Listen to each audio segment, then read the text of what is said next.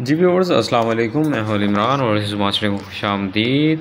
आज हम हाज़िर हैं इस सीरीज़ की आखिरी वीडियोस की, क्योंकि हमारे पास एक टन और डेढ़ टन, और आज दो टन की जो है वो वीडियो कंप्लीट हो जाएगी। तो इस वीडियो में हम आपको पूरी डिटेल देंगे कि दो टन के एयर कंडीशन की क्या स्पेसिफिकेशन होती हैं, उसकी कंडेंसर कितना होता है और कैपलरी कौन सी साइज़ की लगाई जाती है हाल कितना डाला जाता है।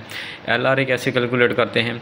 तो ये इस सीरीज़ की आखिरी वीडियो है, इसके बाद हम विंडो एसी शुरू करेंगे और इससे पहले हमने रेफ्रिजरेटर के जो तकरीबन एक बटा पाँच से लेकर तीन तक जितने भी कंप्रेसर हैं, उनके बारे में डिटेल से बात की थी, उनकी जो स्पेसिफिकेशन बताई थी। तो चलें इस वीडियो को शुरू करते हैं। तो वीडियो शुरू करने से पहले रिक्वेस्ट है कि हमारे चैनल को सब्सक्राइब ज़रूर करें ताकि मज़ीद आने वाली वीडियोज़ आप तक पहुँच सकें।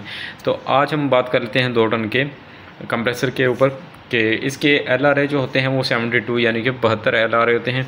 इसको जब आप छत्तीस पे डिवाइड करेंगे तो आपके पास टनज निकल आएँगे यानी कि दो टन। तो इसका मैक्सिमम लोड जो होता है वो बारह अम्पेयर होता है। तो जिसको जब रेफ्रिजरेंट इसमें सर्कल कर रही होती है, पूरा लोड के साथ चल रहा होता है तो बारह अम्पेयर तक ये कंज्यूम करता है। तो उसके बाद हम इसके ऑयल की बात कर लें तो सबसे अच्छा ऑयल जो मेरी नज़र में आता है, मेरे एक्सपीरियंस के मुताबिक वो सैनियो कंपनी का है। एस एल बत्तीस आप हमेशा जो है वो रोटरी कंप्रेसर में इस्तेमाल करें, बहुत ही ज़बरदस्त चलता है।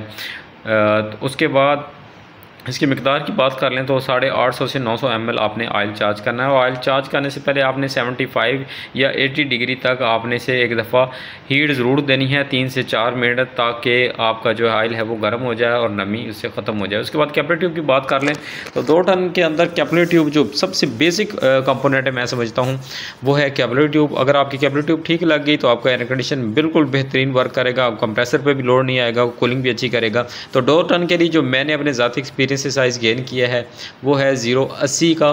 वो चौदह इंच की कैप रही और ये बेहतरीन तरीके से वर्क करती है, मेरा ज़ाती एक्सपीरियंस है। उसके बाद कंडेंसर की बात कर लें तो दो टन के एयर कंडीशन के अंदर जो है तीन बटा आठ के पाइप वाला आर बाईस के साथ जो अटैच किया जाता है कंडेंसर दो टन के अंदर, वो उसकी जो लंबाई है वो 123 से 124 फीट तक होती है।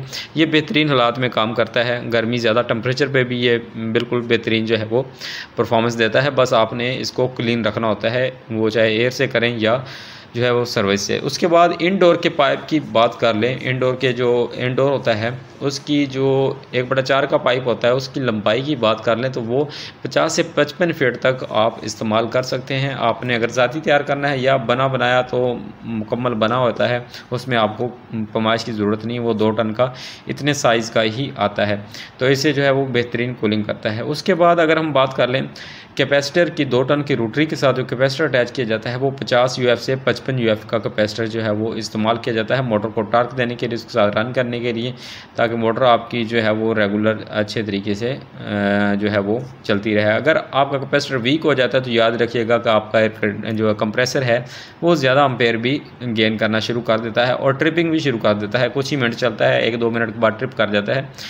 तो उम्मीद करता हूँ कि मेरी ये जो है वीडियो है वो आपको पसंद आएगी। मैं चाहता हूँ कि शॉर्ट से शॉर्ट टाइम में आपको ज़्यादा से ज़्यादा इन्फॉर्मेशन प्रोवाइड की जाए। तो आपसे रिक्वेस्ट है कि अगर आप हमारे चैनल पे नए हैं तो हमारे चैनल को सब्सक्राइब ज़रूर करें ताकि मज़ीद जो है वो इन्फॉर्मेटिव वीडियो जो आने वाली विंडोज़ ऐसी कि अब जो सीरीज़ मैं शुरू करने जा रहा हूँ, वो बहुत ही इंपॉर्टेंट है। तो वो आप तक पहुँच सके। दुआ में याद रखिएगा। अल्लाह हाफिज़।